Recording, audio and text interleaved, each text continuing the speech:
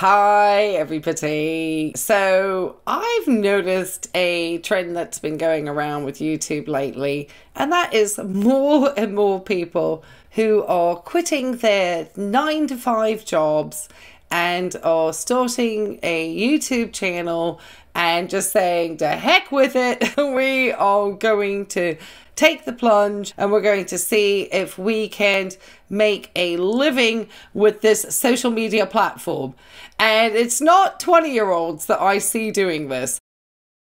These are people that are my age who are in their 50s, who are burnt out in corporate America, and who are saying, you know what, I've heard from all these young people that they are making a great living on YouTube, and so people will put out these videos. I am here to tell you to start your YouTube channel. If you are out there, it doesn't matter if you're 18, 15, 12, 80, 90. I am seeing, I saw a YouTube channel today where a gentleman, it just came up in my feed.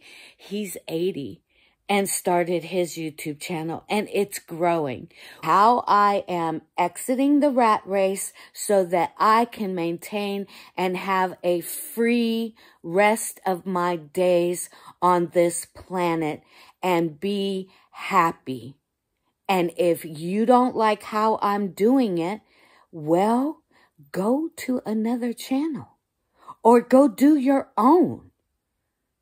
But do not come and tell the person who is doing something that it's not going to work when you haven't even tried it yourself. And they are resonating enormously I mean, I have obviously looked at these videos and I can understand why they resonate. I myself got burnt out at the beginning of January 2024. And I will admit, and I am a professional, I am a registered nurse, I had no patients on the floor. I had been with the company, uh, the healthcare system for an extended period of time, and I got extremely burnt out and I walked away from my job. I literally walked away from my job one day. And the most amazing part of this, and my biggest secret about this, is that very day I went live, and it was just very shortly after that that I became monetized with YouTube. I had already submitted a lot of the paperwork in order to have the process started because that's one of the things that people had recommended people to do. And so I had, I had started it. Another reason that my content looks a little bit different today is previously I made reactions and now I'm making a little bit more commentary. I am somebody who's training to be a psychiatric mental health nurse practitioner, and so uh, I have a little bit of a different interest. And also, I'm getting different opportunities too. And one of them I'm about to put on because this is the reason why I have nothing on my face. First thing I'm going to be putting on is a serum from a company, and I'm going to do my fancy thing from the name of a company by the name of Banish. And these are actually made in small batches here in the United States, in California. They are cruelty free. This one is vegan. It is a vitamin C and E concentrate. You just need a few drops. They do recommend using it the evening. I'm going to be using it in the day today just because I am going to be doing the ceramide and retinol tonight. Uh, from now until the end of the year, I am going to be using these Banish products just to kind of see how they are. I love doing self care. I'm going to put the uh, links down below. There's going to be some great Black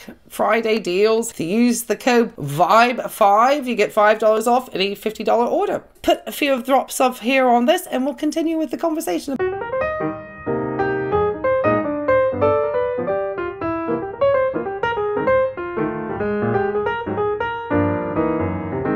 Does not have a strong scent. It glides on really nicely, actually. Now, I do have to be careful around my nose. I'd had a big surgery And this was part of this uh, burnout. I myself um, did try to have a channel, and I was hoping that my experience as a registered nurse, I could use that experience, but in a slightly different way, other than just making medical content, talking about disease processes, or talking about the nurse life, because I understood that there were already a lot of channels that um, had that type of content on TikTok, and it really wasn't seemingly content that tended to, to work on the YouTube platform. Okay, my next step from this company, and this was all sent to me to try um, out. So this is my first like delve into really being uh, an influencer.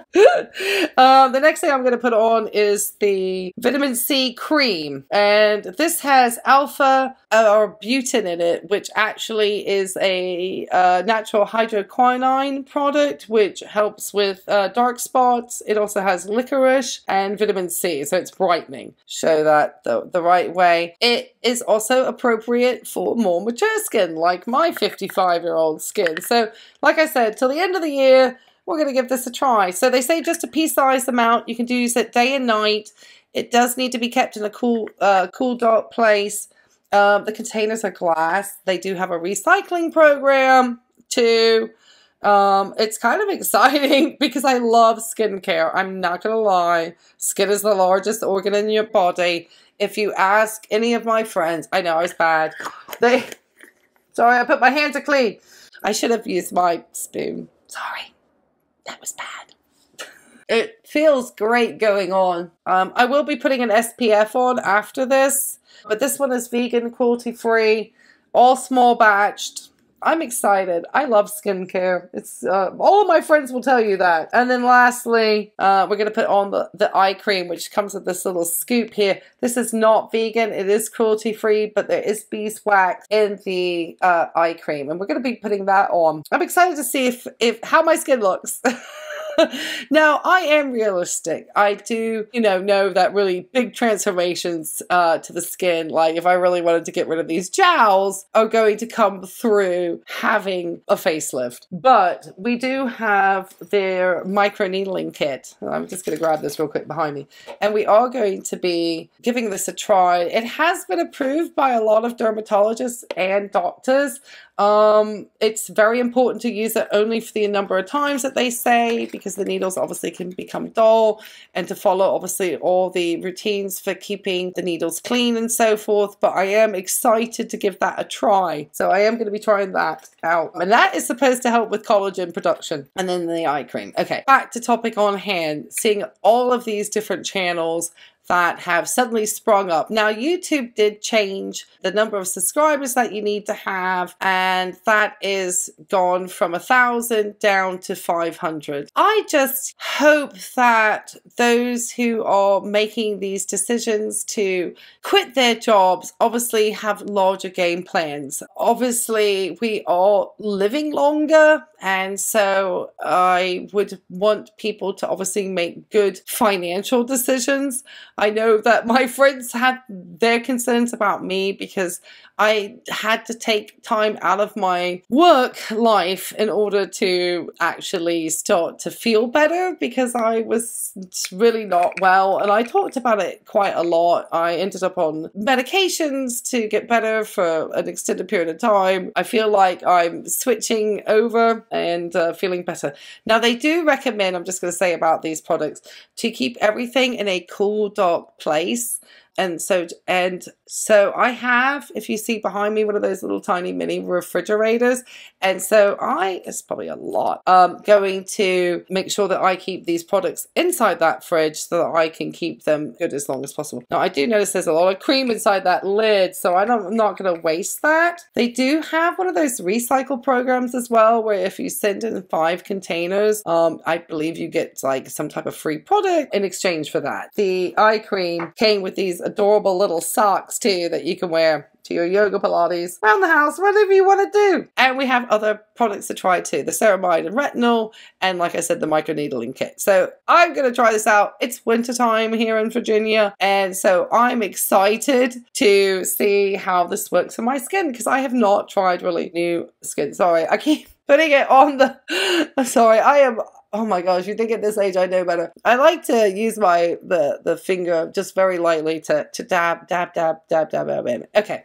That but now I will be, like I said, having to put on an SPF. I will be um, showing you the results of my skincare throughout the next few months, and we'll see how it goes. They have some fantastic sales for Black Friday. They have already started. So if you want to join the skincare journey with me and see if it actually helps improve your skin, you know, click the links down below check it out. I'm going to be doing all sorts of things to see if it helps my neck. I'm sitting here totally makeup free to show the honesty in that. And I think that's one of the things is that when people are making the decision to come onto YouTube and to come onto the platform, it's very important, I think, to have a level of expertise. Now, a lot of the channels that are very successful are ones that people can share things within their hobbies that can help people learn things. I know that I have taken advantage of the channels to learn how to put my air conditioning system. I fix my own air conditioning system. I put in my own flooring thanks to YouTube. I have watched many a lecture. I love to watch Ninja Nerd. There are so many different types of resources that are provided on YouTube. And that's kind of where I find myself as somebody who is a mental health professional and somebody who wants to provide content that is of value to somebody. Also, take uh, opportunities to share things that come my way as a creator, like sharing these Banish products. I do believe is strongly mental health and self care go hand in hand, and that one of the things that people should always do when they're having tough times is take care of themselves as an individual. And so I think in the wintertime, it can be particularly difficult. So that's one of the reasons why I am also encouraging the self care journey. I think we've been through a lot lately. And so I would always say,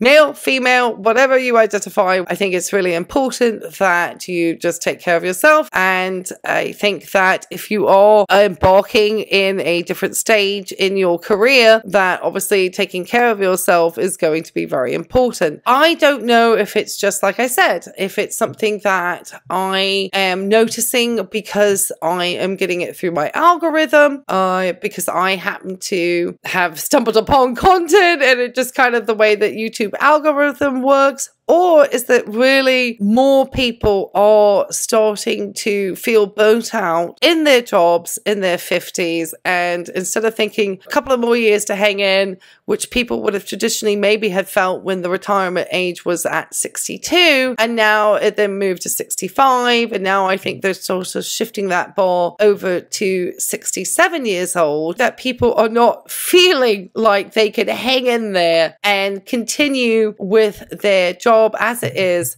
and wait to, for that retirement and the pension and the social security and everything that comes along with that and just hang in there to 62 because now the goalpost is sitting at 67 and even 72 here in the United States to really get the, I think the most in social security if that system remains. The age will be 72 the people who are embarking upon this journey because there's so many channels that are just I see and this concerns me as somebody who's in mental health health because I don't want people putting either their expectations up too high because they get an initial algorithm hit from YouTube. They suddenly see this huge amount of money coming in. I haven't had that happen, by the way. Maybe that's what's kept me safe.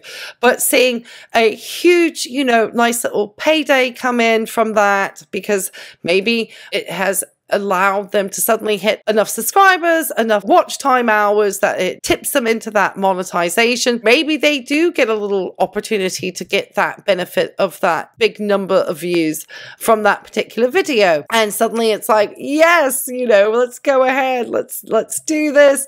Let's get this channel going. They start to put their heart and soul into it. And then in reality, their content does not continue to resonate with people.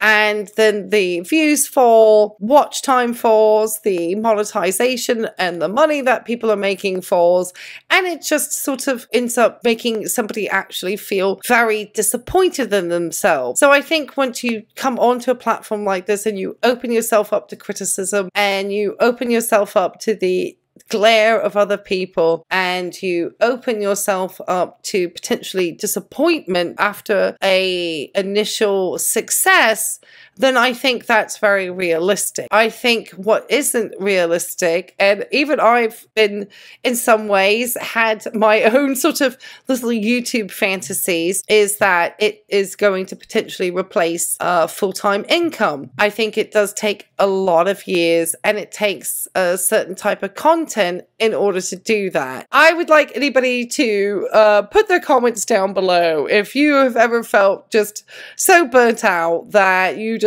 want to start your YouTube channel and forget about uh, anything else you've got going on in life and just say, hey, the heck with it. I have enough expertise and things of interest that I can share that I am going to open up my YouTube channel. Now, the term burnout actually was originated in 1974 by a gentleman by the name of Herbert Freudenberger. I believe that's correct. And he coined the term around obviously burning out within the workplace. So it's when a person becomes disinterested in their work, they are starting to get chronic fatigue from going in. It is not a medical condition, it's more of a, I guess, a syndrome, if you may. It's not recognized uh, by any medical societies at this time. And I know burnout is not included in the DSM 5, which is the manual that we use within the psychology and psychiatric health care field in order to help us with diagnosing our patients. But I think it's very interesting to see, as I said, how many channels are starting because of people feeling that they want to take the opportunities of being a creator. I think a lot of people, from what I'm sort of seeing, are creating content where they are talking about how to monetize from YouTube. And then I think maybe potentially there, the hope is that they can create courses to sell to their audiences about how they can start a YouTube channel. I also kind of seeing potentially people wanting to do consulting work, maybe charging people to talk to people about how to start a YouTube channel. And I can promise you, having been a creator and having been monetized for almost, uh, it's probably been at least a good 10 months now, and maybe a little bit more, that you do not need to pay for any type of course. You do not need to try to pay. And I'm not trying to hit into these people's sources of income, but I'm just saying that if you are feeling that you want to start a channel, there are so many channels that just give this information out for free because that's what's going to be their views.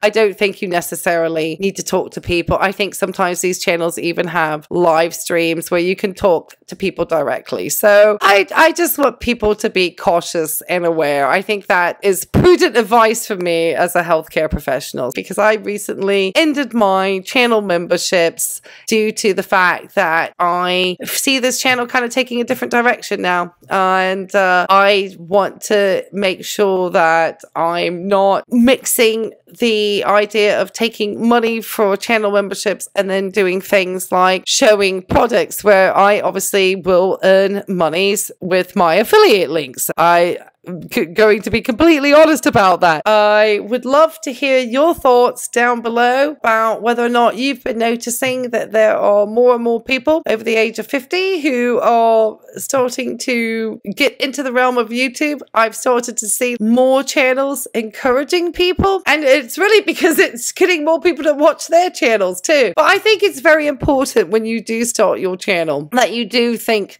of a game plan. Remember, quality over quantity.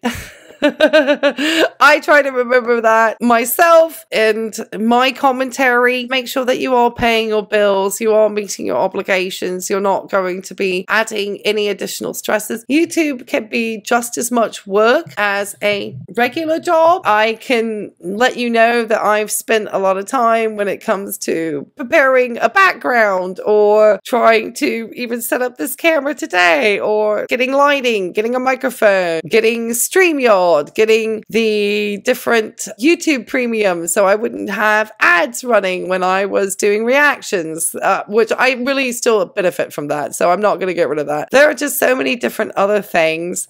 And so I guess I'm taking the perspective as somebody who has been a creator in this space, who has enjoyed a small amount of success, just to be cautious. Be cautious when you have people reaching out to you. Be cautious of the comments that you may receive in your inbox. Just be cautious that this time of year, YouTube pays a little bit more on its AdSense. So it may be that you are seeing a revenue that is not going to be sustained in the new year. YouTube has fluctuations in what it pays. And so some of these newer creators who are hoping to walk people through becoming content creators may have limited experience in the creator game as themselves. So just be very cautious of that as you kind of work your way through this medium. I do always want people to be weary of anybody who is offering you anything that sounds too good to be true. Let me know what you uh, think about all these new creators coming in. Have you noticed there are more people over the age of 50 who are saying that they are quitting their nine to five jobs and are going to be starting a career on YouTube? Those who are